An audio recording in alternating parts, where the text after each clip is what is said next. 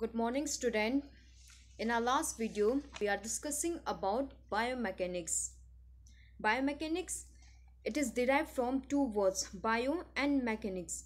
Bio means living things and mechanics means uh, related to physics. So, biomechanics means the study of force and its effect on living things. What will happen if the force is applied on a living things, on a human beings? And movements types of movements. Today let's discuss about law of motion and its application in sports. Law of motion is formulated by isaac newton in 1687 he explained and in investigate that every motion every movement is under the impact of this law of motions means this law of motions was formulated by Isaac Newton in 1687. Whatever the movement, whatever the movement it is, it come under the impact of this law of motions. There are three law of motions. That are first law of motions, also known as law of inertia.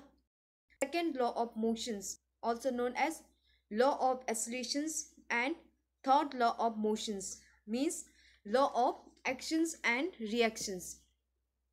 First law of motions that is law of inertia. This law state that an object at rest will remain at rest or an object in motion will remain in motion at constant velocity unless acted upon by a force means when an object it at rest, means it remain at rest. जब कोई भी object rest में होगा then the object will remain in the rest position and if the object is in motion means अगर object motion में है movement है then it will remain in motion unless the it will in motion, in the same speed, unless the external force. Is act upon the object. For example, a football at a penalty point will remain at rest unless a player kick the balls. When a football ball is kept in a penalty ball, the ball does not the ball does not move unless a player kick the ball or a ball if the ball is moving it will continue move unless the external force is applied on a ball to stop it. This is known as law of inertia means an object at rest will remain at rest or an object in motion will remain in motion unless an external force is applied on the object. Second law of motion also known as law of acceleration. According to this law of motion the rate of change in velocity that is acceleration of an object is directly proportional to the force applied and inversely proportional to the mass of body. Means the rate, rate of change in velocity means change in motion of an object is directly proportional to the force. If more force is applied there will be the more movement more velocity of an object and inversely proportion to the mass. If if the weight of the object is heavy then more force is required. The greater the force applied the faster is the velocity. More force is applied more is the velocity more is the movement and more is the displacement. And if the force applied is less if you apply the force less then the displacement is also less then the movement is also less. Moreover acceleration means velocity is also less. Means in second law of motions accelerations. Accelerations is directly proportional to force and inversely proportional to mass. Okay accelerations means movement motion is directly to force and inversely proportional to mass. For example a volleyball player uh, a volleyball players push the ball slowly for a drop or you can see in a shot put a players who exert more force if um, if there is a two object of same weight and um, and uh, the ob- and um, if the players exert most force on the object then the object where the more force is applied there will be the more velocity means there will be the more movement of the object. And if there is uh, um, motion mass means if uh, if the object uh, if the uh, object mass weight weight of the object is different. Then um, more force is required for this uh, displacement.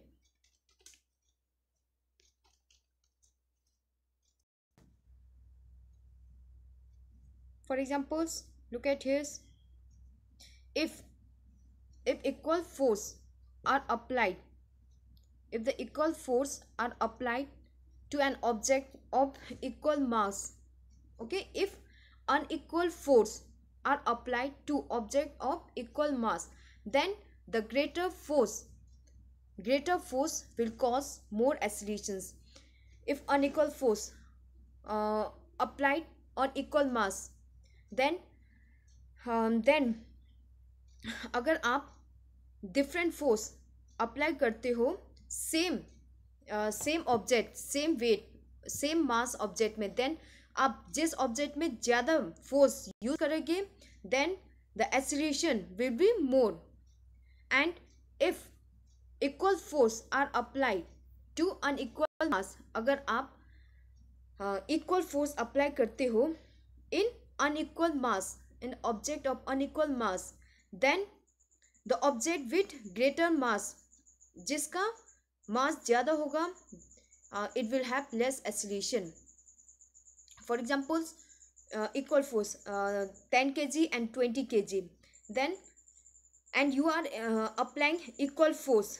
Then the 20 kg more force is required for greater force in acceleration. Okay this law of acceleration means the rate of change in velocity. Acceleration of an object is directly proportional to force and inversely proportional to the mass of the body. More more force is required when the weight is more. And third law of motions also known as law of actions and reaction. This law of motion state that for every actions there is equal and opposite reaction. For examples, in swimming pool, in swimming, if the player pushes the waters backward, in returns he pushes forward means at the time of swimming. If the players push the water backwards, mean his action, action is backward, then then he is uh, he is pushed forward that is reactions pushed forward by the waters or uh, or at the time of walking when a person's walk on the road he pushes the ground backwards uh, he pushes the ground uh, backward directions and the ground exerts and equals an opposite force on the persons in the forward direction. This is the third law of motion. Okay? Law of motions it was formulated by isaac newton's in a 1687 first law of motions also known as law of inertia.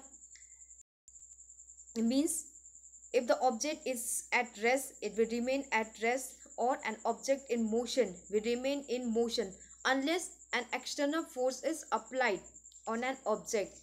Second law of motion, also known as law of acceleration. This law states that the rate of change in velocity means the rate of change in acceleration means movement of an object is directly proportional to force. अगर आप more force apply करोगे then there will be the more acceleration and inversely proportional to the mass of the body. Heavier the uh, heavier the weight, more force is required for more acceleration. And third law of uh, third law of motion is law of actions and reactions. For every actions, there is equal and opposite reactions. If you in swimming pool, if the player pushes the water backward, then the waters in return push the players forward. This is the third law. This is the law of motion, three law of motions. And this friction and sports, this is cut from your syllabus. Now we have complete ours, uh, complete our uh, chapters biomechanics and sports.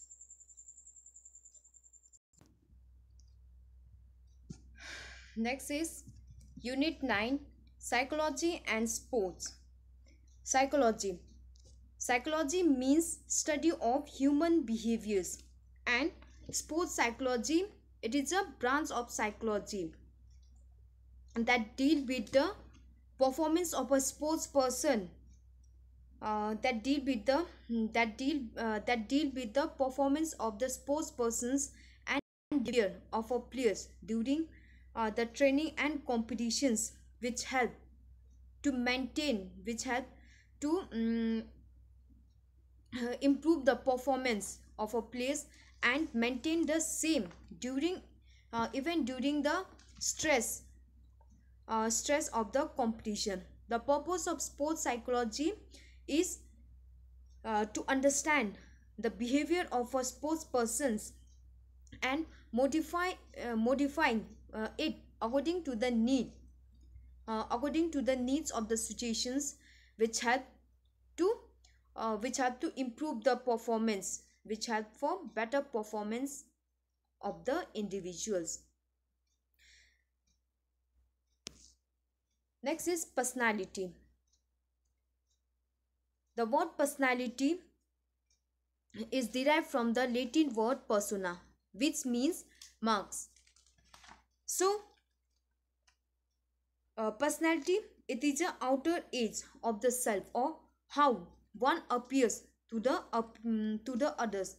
The word personality convey the meanings of one physical appearance, his habit, his way of dressing up, his reputations, his manners and other similar characteristics. This is the meaning of personality. Okay, personality it is derived from the personality is derived from the latin word persona. Persona means marks his uh, outer appearance how a person's look. So personality convey the meaning of one physical appearance his habit his way of dressing up his reputations his manners and other similar characteristics so in and personality, it is a typical patterns of thinking, how one thinks, his feeling and his behaviors which make a person's unique. Every individual has unique personality. No two individuals have same personality. Or personality, it is a combinations of emotion, attitude and behavior response patterns of the individuals. The emotion of a person's his attitude and behavior, how he behave in different situation, etc. This is known as personality. Or you can say that personality is a total uh, total sum of uh, total sum of uh, total sum of uh, what one is his psychological makeup one's typical patterns means to adjust in the environment or how one responds to the world around him and his behavior patterns how one behave different in a different situation. To an ordinary people uh, to an ordinary person's personality means his physical appearance his habit his way of thinking his reputations his manners and other similar characteristics but personality is more than more than this. It is much more different from this. Personality is a total sum of his being. Okay? Personality is the total sum of his being and include physical physical appearance uh, physical appearance his mental social emotional and intellectual aspect. So one personality reflect the thinking imaginations uh, uh, thinking imaginations attitude intents uh, his habit his interest and uh, other similar characteristic. This is a personality. Next is various psychologists has formulated many theories regarding the personality? Every individuals different persons have different uh, different meanings regarding the different theory regarding the personality. Some theories are based upon dimensions and some theories are based upon trait characteristic. So some common uh, common theories regarding personality are Selden's Selden classifications of personality Jung personality um, classifications based on traits and and uh, big five theory big five theory based upon dimensions let's discuss Selden classification of personality Selden classified the personality according to the body structures. So Selden's according to Williams Herbert Selden, the personality are of three types based upon body structures that is endomorphic, mesomorphic and ectomorphic. Okay, Herbert Selden's according to Herbert Selden's he classified a personality based upon the structures of a person's that is endomorphic means fatty peoples mesomorphic means healthy peoples and ectomorphic. Ectomorphic means thin and lean peoples Selden Selden classification. Classifications uh, of personality endomorphic they are also known as uh, viscerotonic means fatty peoples an endomorphic person is generally stocky with a large round body, short neck, short arms and wide hips. They have lots of fat on their body. They are low in physical fitness. Uh, physical fitness. So endomorphic. Endomorphic means fatty peoples. They have uh, this person have last round body that is mainly shaped body. They have short neck, short arm and wide hip. They have lot of fat in their body and they they are low in physical fitness. They uh, they are not good in uh, good in physical activity.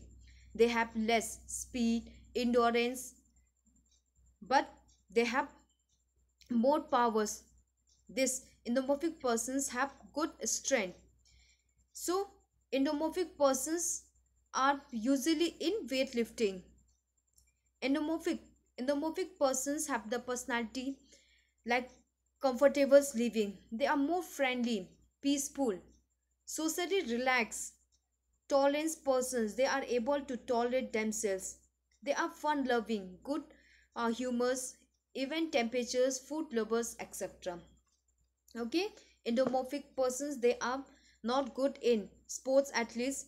These endomorphic persons are very uh, very uh, friendly always happy. Um, social uh, sociable relax means easily uh, adjust the others peoples. They are able to tolerate persons able to control their emotions angers etc mesomorphic persons. Mesomorphic these persons have muscular body with broad chest means this mesomorphic are healthy peoples. Mesomorphic persons have strong leg and arms with medium height. They have medium height. Mesomorphic persons has good strength. They have good strength, speed, flexibility and attractive personality. These persons have attractive personality. They are good. They have good shape, structures, etc. So, the personality is good. They are good for almost all activity. They are good in almost all physical activities. Their personality characteristics say that they are actives. They are active, energetic, assertive, vigorous, and combative personality. They have lots of energy in their body and they are adventurous and courageous sports. so mesomorphic persons have lots of energy in their body so this person should do heavy physical activity. Ectomorphic. Ectomorphic means thin and lean peoples. These ectomorphic persons are slim and thin with narrow face. Means ekdam dubla patla admi. they have narrow face narrow shoulders chest and hip. They have low fat on their body. They does not have fat in their body. Ectomorphic have less strength. They have less powers whereas they have good endurance. These persons are mainly suitable for running activities. They have good in endurance. Personality wise, they are quite sensitive, fragile, uh, resistant, and non assertive. Means they want to live in their own worlds. They are quite, they are not easily friendship. They are not easily uh, friend with other person.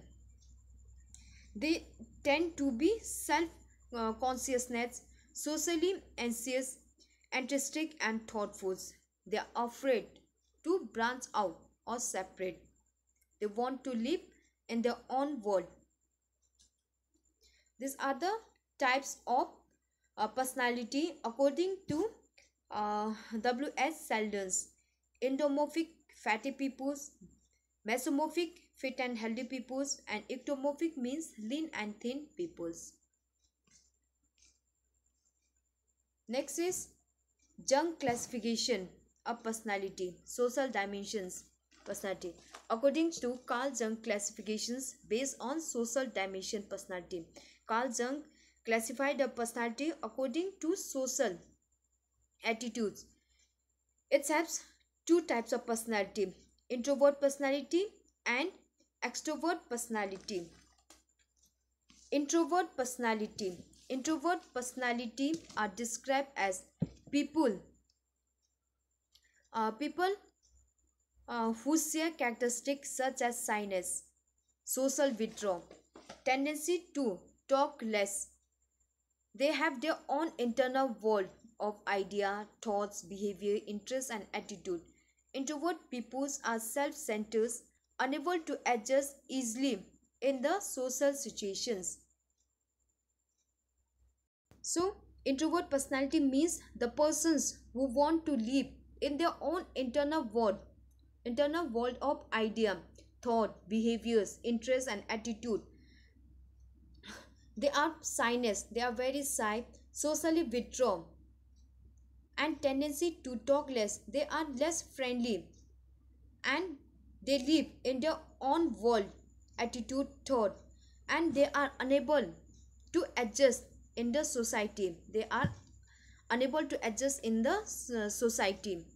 So, they are not easily suggestible. They are future oriented. They only think about the futures and they are very sensible and rigid in their idea. Extrovert personality. These persons have tendency to be outgoing friendly talkative and social in natures. Their behaviors and actions are concerns to interact with others.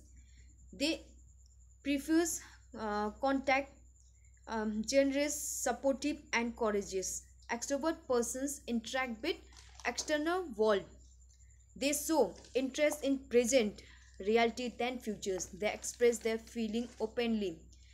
They take decisions quickly and act uh, upon quickly. They are not affected easily by difficulties. So, extrovert personality means those persons uh, those persons who live in the present life um, okay extrovert persons um, means uh, they prefers uh, extrovert persons interact with the external external worlds they these uh, extrovert persons live in the present world rather than futures. Introvert persons only think about the futures, but these extrovert persons live in present present world. They think about the presence. These extrovert persons are outgoing. They are friendly, talkative, and social in nature. Means easily adjust in the society, easily adjust with the others peoples. They are too much talkative. They are talkative, and these extrovert persons uh, easily uh, they are free uh, feeling openly they easily express their feeling to others peoples these persons take decisions quickly. They take the decision quickly and also act upon their decisions quickly. This extrovert personally personality are uh, not affected by the difficulties. And okay these are concerned to the interact with others easily interact easily friendly with the others people these are the types of personality according to jung carl jung. Okay introvert extrovert. Introvert means live in the internal world. Only thinks about the futures. They are very shy uh, shy talk less shyness and extrovert means those who live in the present present world. And uh, outgoing friendly etc. And they express their uh, view express their feelings openly to the others. This big five theory emotional dimension personality. According to big five theory the personality depend upon five dimensions or trait characteristic and also known as personality dimension. That is ocean. O means openness c means um, conscientiousness e means extroversion and a, a means agreeableness and means uh, neuroticisms ocean this is the big five theory. So openness openness the persons who are openness they are curious curious wide range of interest independence. They are uh, respective they are respective to new idea. Okay openness means they are open. They are respective to a new idea. They are creative. Interest in variety. Interest in variety uh, of expressions etc and openness persons they are more frankly. And those who are not openness they are practicals conventionals prefers routines and they are uh, they are practicals. They are narrow in interest uh, narrow in interest with what is familiar and always perform the same routine work diet habit. Conscientiousness conscientiousness those who are conscientiousness they are hardworking dependable organized um, well organized they are well organized responsible okay they are responsible disciplined achievement oriented and always follow the plan. And those who are not conscientiousness they are careless impulsive careless discouraged disorganized lazy uh, do not follow the plan. Extroversion extroversions those who who have more extroversion those who are extroversions they are outgoing warm sick adventurous. Okay they are outgoing fun loving fun of loving assertive talkative. And those who are not ex um, extroversions they are quite reserves withdraw means they are shyness shy serious. Next is agreeableness those who are agreeableness they are helpful more helpful. They are more trusting trustful trusting in natures. They are warm trusting. They are helpful and easygoing. And those who are not agreeableness they are criticals in cooperatives they are not cooperate with the others. They are in cooperatives as uh, cold argumentatives. Un- unfavorable etc and next is neuroticisms those who have those who are anxious worry okay anxious worry unhappy. They always lives in unhappy prone to negative thinkings emotions. They are emotionally weak insecure and those who are less neuroticisms they are calms. Even temp- uh, tempers secures they are emotionally strong. Stables they are confidence. These are the big five theory. Ocean O C E A o c e a n oceans